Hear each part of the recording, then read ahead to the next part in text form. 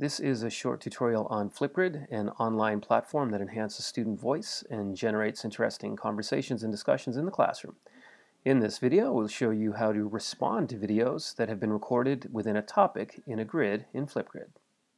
So there are several different features with giving feedback. First up, what you want to do is watch the video, maybe pause it, make your comments as you go. You've got 1024 characters.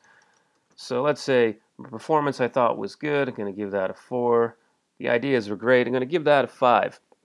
Now let's say I thought this is great, so I'm going to turn it from inactive to active. People will now be able to see it, okay? If I thought it was really, really great, I might want to go to Spark, and then I can use this as the topic resource, which takes away the photo that I used, or the image, or the video, and then that makes this the benchmark for when students are going to the topic. If I click Feature, and I have Flipgrid Classroom, then I can pin it to the top, so it's one of the first, or the first actually, video that students or other viewers see.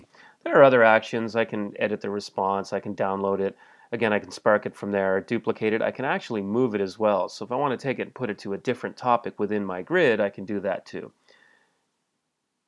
Now we'll go back to feedback here.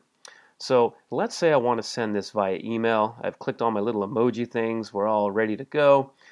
If I wanted, I can click add as an email. So let's say I want to send that. I want to give a title, your assignment. Let's say I want a link for further study if I feel that they need it. I can click Update Response, and then I click Send Feedback, and you notice here it says Feedback Sent.